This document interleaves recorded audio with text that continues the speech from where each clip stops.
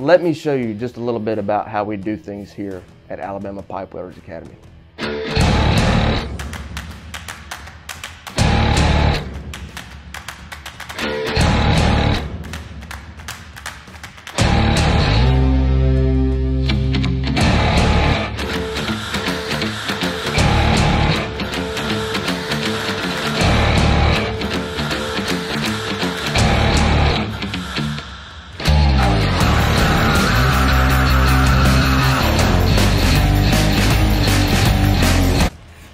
Guys? Thanks for joining us. This is Travis back at you again with another video. This one's gonna be about beveling. So we got some do's, we got some don'ts. Everything you need to be prepared on 2 inch Tuesday. So let's check in with the Scotsman and see how it's done. So basically we're gonna go over some basics for beveling. Every Tuesday, we make all our students bevel their own pipe. It's two inch Tuesdays. Just a few things about this grinder. We use these Chanta discs. They work real good. They're green, they take off a lot of metal. One thing you wanna check before you get started is if this guard is properly installed. If it's tight, if it needs to be tightened over here, there's a set screw right there that you can tighten it with. Some of the safety features that you need to watch out for, obviously safety glasses, grinding shield, earplugs. You want to try to get a square cut pipe the best you can. Square meaning 90 degrees. Around the outside of, of uh, stock pipe, when it comes from the mill, they have this stuff on the outside. It's called mill scale. So you're going to want to have to get that off the outside and on the inside of the pipe. There's the coating that they put on it to keep it from rusting. But when I start grinding here in a minute, I'm going to have my hand on the halfway on the handlebar and halfway behind it like this so I can twist and turn and get my angle 37 and a half degrees. There's a few tools that you can gauge this with. A high-low gauge has a angle 37 and a half degrees.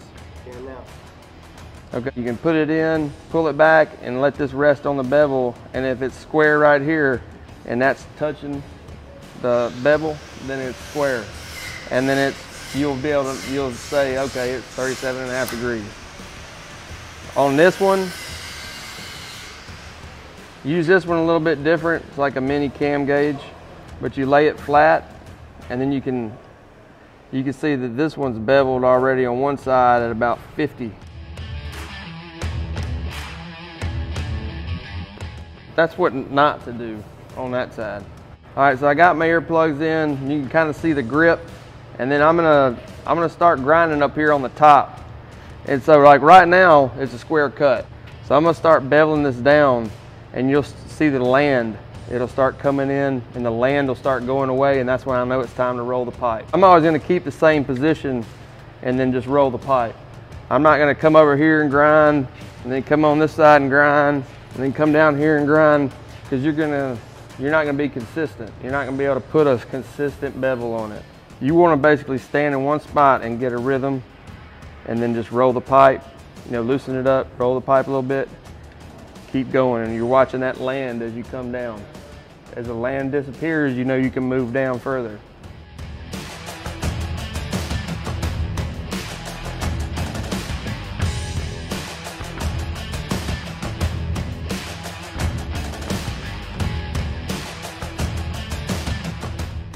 You see the land right above my pinky? You see the flat spot?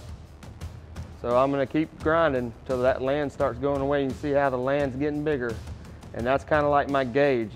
I don't wanna, I, once the land disappears, I don't wanna grind on that no more because you'll get a wave.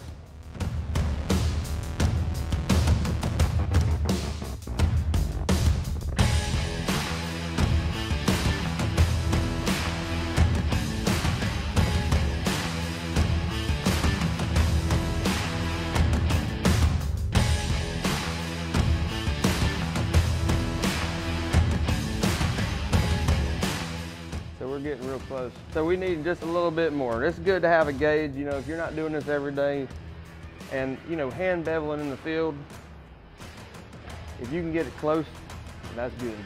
But if you're 50 degrees, that ain't gonna cut. One of the big things about having a 37 and a half degree bevel, or sometimes less, I like Uh, I like less of a degree of a bevel because I can weld it faster.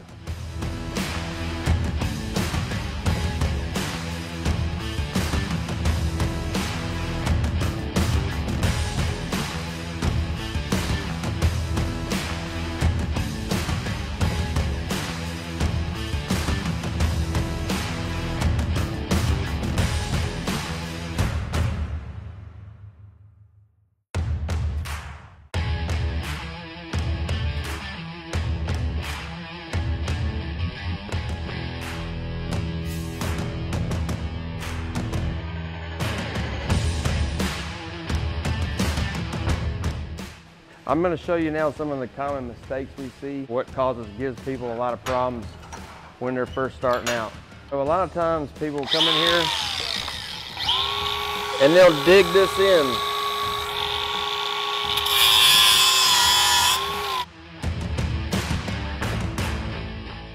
It's just all about positioning. A lot of times they want to get right in front of it and grind it like this. You, you want to be able to keep that grinder with the contour of the pipe going around. That way you can see what you're doing. If you're right here the whole time grinding like this, you can't see anything.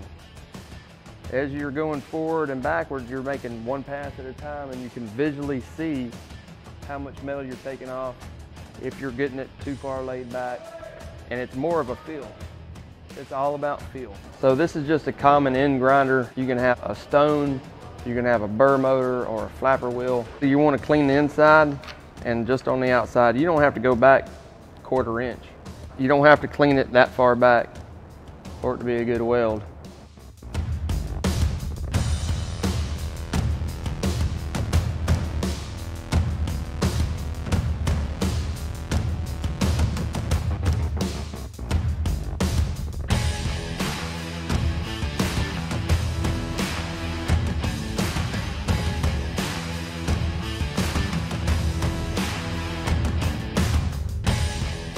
You can see inside, inside and outside, all the way around. You know, finished product to look something like this. That's a Schedule 40 pipe. What we're working with today is Schedule 80.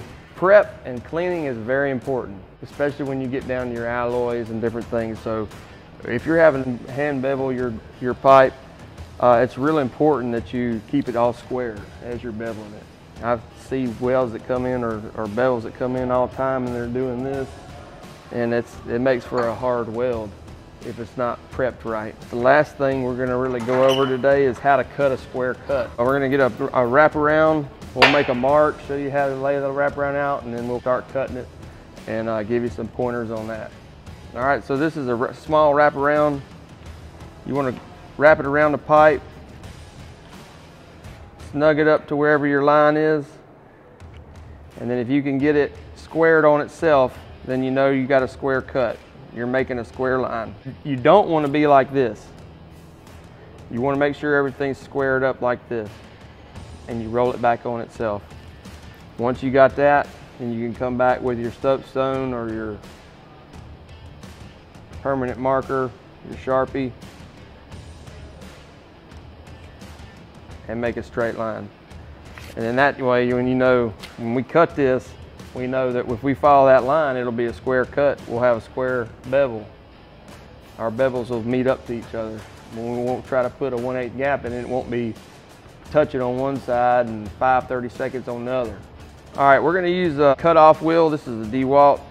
It's got a brake on it. One of the common mistakes I see with people when they're cutting, trying to cut square, they've made their line square and then they're trying to cut it and they come right here and they just try to cut straight through. You can't do that. You got to let the grinder do the work and you kind of kind of trace that line up and then same thing, I'll cut it and I'll spin the pipe. I'll keep my body position, my hand position, everything square, all the same, whatever is most comfortable. And that's what keeps it square. If you cut up this side and you come over here and you cut up this side, man, that cut's gonna be doing this and waving and back and forth it's just gonna be hard to keep it square. But we're talking about basics for cutting and welding and, and prepping. A beginner, they're not gonna be able to come on this side, go on the other side of the pipe, come on that one, and keep it square. It's best if you keep it simple. KISS. Keep it, keep it simple, stupid. That's what they said in the Navy.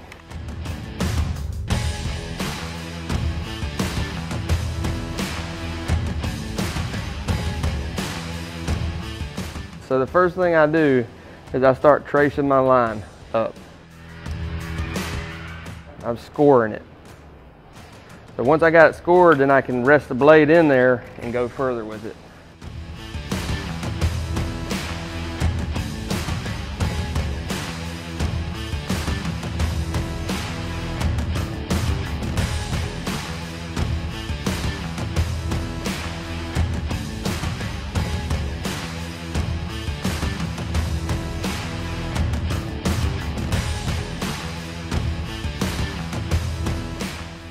Remember, let the blade do the work. You shouldn't be putting any kind of pressure down on this. These things will bind up and explode, and I know you've seen people with them sticking out of their cheek. I just hadn't been trained properly. That's what we're trying to do here is teach you guys. So you see, I always come up and score the line first, so I know where to go.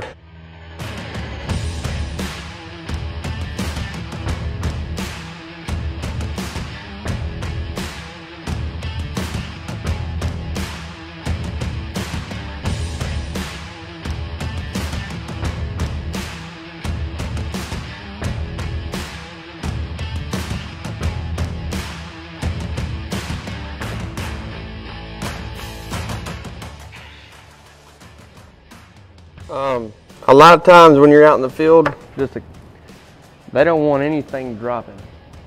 I don't care if it's that little. If you might be up on the fifth floor somewhere, and if you cut a little ring like that and it falls 200 foot, hit somebody, it's going to hurt them, possibly kill them. So you always want to have somebody hold this, or you can get it down to the last little bit like this and pull it up and break it off. And that's just being safe, looking out for being your brother's keeper look out for people. A lot of jobs, if you if you cutting something and it's you know got some weight to it and it hits the ground and they see it, you run off. That is a safety hazard. Letting stuff fall. That's it doesn't matter where it is. You just need to get in the habit of not letting things fall. Get somebody to hold it with some pliers. Have somebody have it on jack stands or do like I did and, and cut it all the way almost and then just break it off. Don't drop anything. Thanks for watching guys. I hope y'all learned something today. We like to push our students here at Alabama Pipe Welders Academy. So with that in mind, I'd like to share a story with y'all. Once there was a very wealthy Texan. This guy filled a huge swimming pool with alligators and snakes and made a standing offer that if anybody could swim the length of the swimming pool, he'd give them $6 million. Everyone knew it was impossible, so nobody tried.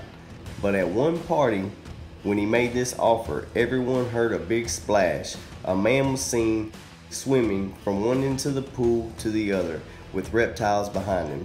He barely made it. As he pulled himself out, the Texan said, Wow, I'll get you that check for $6 million. The guy said, I don't care about that. I just want to find the guy who pushed me in the water. The people who have the biggest impact on us are often those who have pushed us. Most of us won't even make a very big splash in life unless a teacher, parent, coach, or friend pushes us to our very best.